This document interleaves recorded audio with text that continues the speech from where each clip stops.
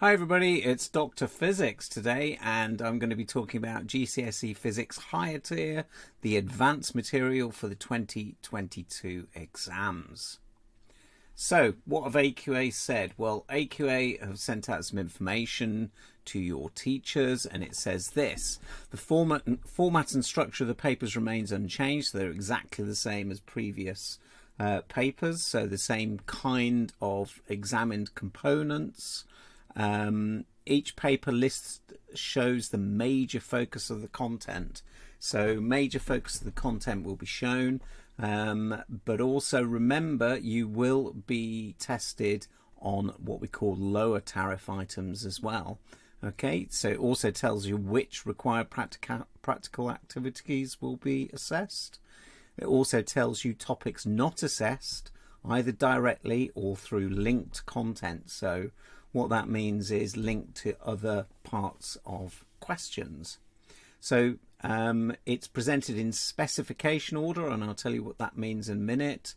And also, they're going to assess all the practical skills. Your math skills are in there, working scientifically. And it says it is not permitted to take this advanced information into the exam. But I ask, why would you?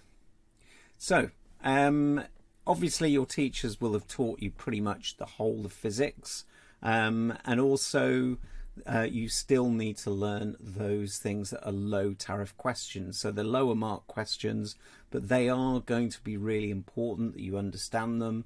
So um, they bring together knowledge, skills, and understanding. So you get linked questions, sorry, from across the spec. So students still will be expected to apply their knowledge. Right, okay, so this is a spec specification code. So what you would do is you can use that address to go through to AQA, so or you just put it in Google search, AQA GCSE Physics, and you'll get the specification.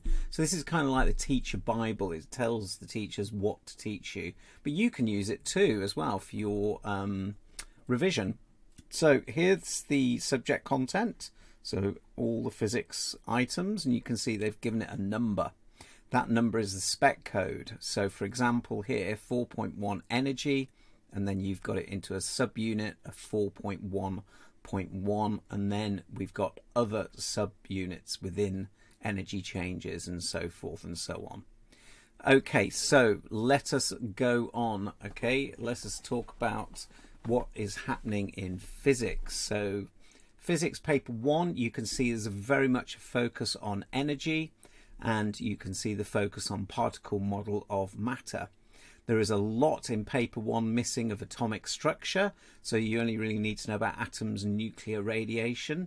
Um, but you can see for the top one, energy, it's going to be a major focus on energy changes, conservation, dissipation of energy, and particularly the required practical two of insulation. Electricity, there'll be nothing on the first three things, but there will be something on energy transfers and possibly static electricity. Saying that, I think you probably would need to know something about those as well. Uh, related to electricity anyway. Um, so particle models, changes of state in particle models, internal energy and energy transfers, and the density required practical. Nothing on particle model and pressure. Paper two, as you can see, there's a real, really strong major focus on forces. Pretty much everything in forces is going to be um, a major focus, except moments, levers, and gears, which is a shame. Um, also, forces and motion, just be careful because it just mentions describing motion along a line as a major focus. I know that's quite a big section of work, so that's just a part of that section. Waves as well, you can see that the reflection and refraction require practical. In fact, it's the only examined required practical in the whole of paper two.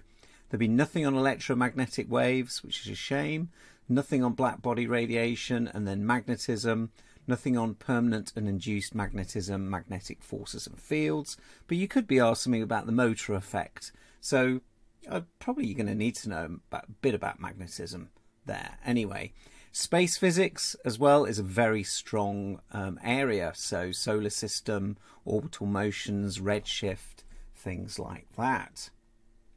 So The key thing is you will get a revised equation sheet. So covers all the equations that will be needed. They've taken out the equations you won't need. Okay, so you'll be given that for use in the exam, which is good news. So some takeaway advice. So this takeaway advice is from a blog post from um, a physics blog teaching post. They're saying learn the key terms. I think that's important for all of science. Don't forget the lower tariff mark, so don't forget to revise the other areas. Whilst some topics have been omitted, there's still a, quite a lot of content that will be used in lower tariff or linked questions. Um, information regarding paper one suggests the main focus will be energy changes and calculations involved with energy transfers. Paper two suggests a strong focus on forces and space physics. Um, this just a little point they've made about the 4.2.4 energy transfers and energy using charge, potential difference, and current is assessed.